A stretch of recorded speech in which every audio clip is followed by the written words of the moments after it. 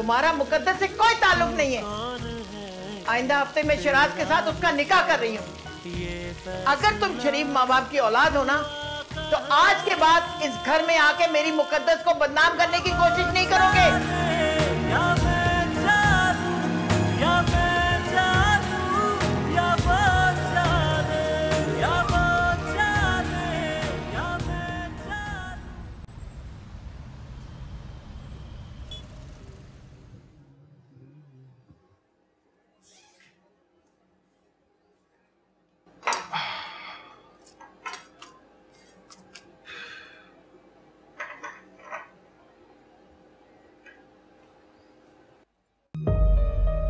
मोहित आया था।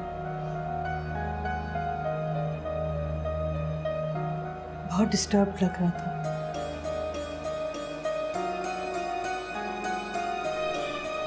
हमारी मुकद्दस से वो इतनी मोहब्बत करता है, इसका अंदाज़ा नहीं था मुझे। मोहित, बेटे, क्यों आ गए हो यहाँ? और आप मेरी बात समझने की कोशिश क्यों नहीं कर रहे? मुकद्दस मेरे बगैर कभी खुश नहीं रहेगी वो मुझसे बहुत मोहब्बत करती है। मुझे तो पता है मैं कोशिश कर रही हूँ। इतनी बड़ी नाइंसाफी कैसे कर सकती हैं उसके साथ? मैं ना कर रही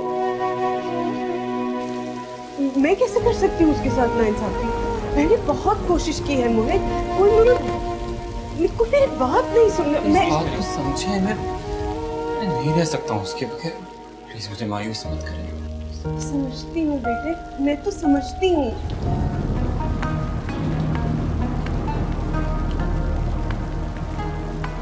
तुम और इस घर में? अम्मा मैं चुप रहो तुम। आज के बाद तुम्हारी जबान पे मुकद्दस का नाम ना आए। तुम्हारा मुकद्दस से कोई ताल्लुक नहीं है।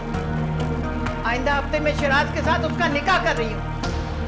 अगर तुम शरीफ माँ बाप की औलाद हो ना तो आज के बाद इस घर में आके मेरी मुकद्दस को बदनाम करने की कोशिश नहीं करोगे। जाओ यहाँ से। तुम भी जाओ। जाओ मोहित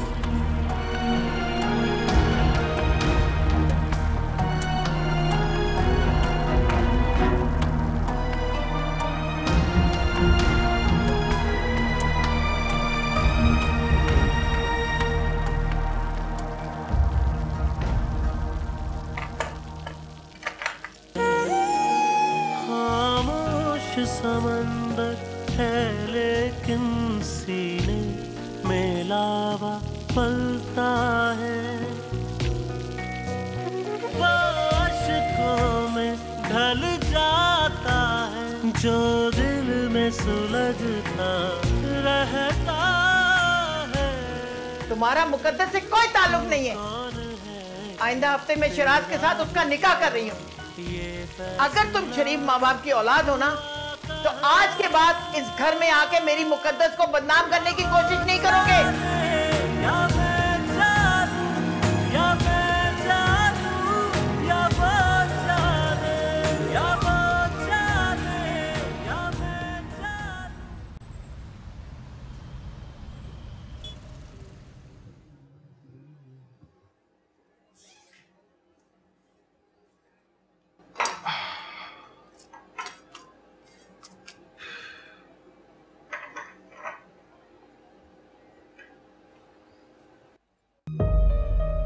मोहित आया था। बहुत डिस्टर्ब लग रहा था।